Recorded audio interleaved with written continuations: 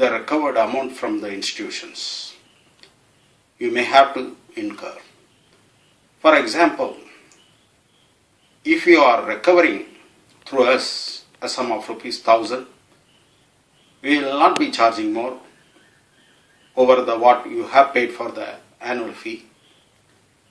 But if the recovered amount is above 1000, we will be charging the 10% of the recovered amount. It is not about uh, what is the amount you are uh, claiming, but what is the recovered amount, actual amount is recovered. On that basis only we will be charging you the 10% of what you recover.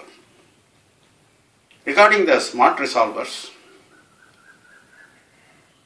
because it is a continuous process, once you register yourself for a single account, if you have multiple accounts, each and every multiple accounts, because somebody may be having more different varieties of loans, in such a case, it will be discussed with you to fix an amount and that amount can be paid by you so that you can build a matrix of documents which are necessary in due course.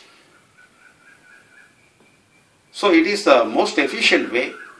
You need not draft any letters or anything like that. Whatever the cost you may incur in future, maybe after registration, maybe if you have to post some letters, we will be sending those letters to you so that you can post it. Otherwise, no extra cost will be charged.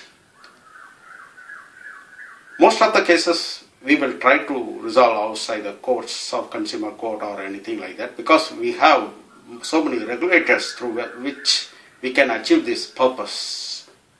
So, we will try to do or we will perform through the regulators in such a way that we will derive the information from the appropriate authorities and make your claims legitimate and we will be advising you even at the initial stage that whether it is possible for you to recover such amount or not.